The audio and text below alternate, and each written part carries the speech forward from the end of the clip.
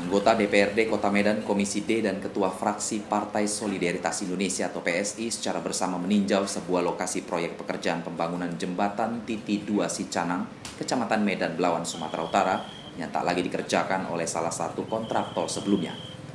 Proyek mangkrak ini diperkirakan menelan biaya sebesar 13,6 miliar rupiah dengan menggunakan anggaran tahun 2020. Hal ini membuat warga Sicanang kecewa serta mempertanyakan akan kelanjutan pelaksanaan pekerjaan jembatan tersebut.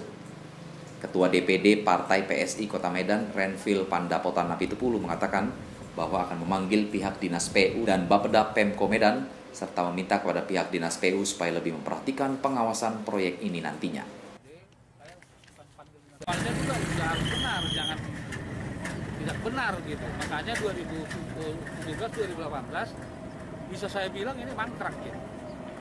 2019 kosong karena masih persoalan hukum. 2020 sudah jalan.